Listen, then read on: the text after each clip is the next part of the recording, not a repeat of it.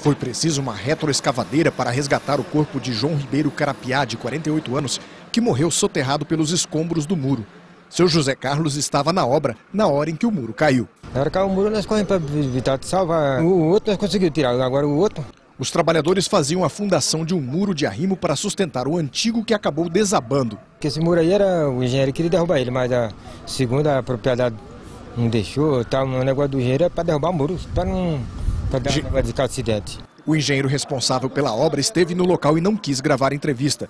De acordo com moradores da região, este casal de idosos que mora ao lado da obra não teria autorizado a derrubada do muro antigo. Eles se defendem com outras reclamações. Nós não o, o proibimos de fazer. Só que eles cavaram fundo e caiu. E quase matou duas, dois seres humanos. Tinham feito aquela valetinha do lado do muro, né? E aí o muro cedeu, que não aguentou a valeta funda.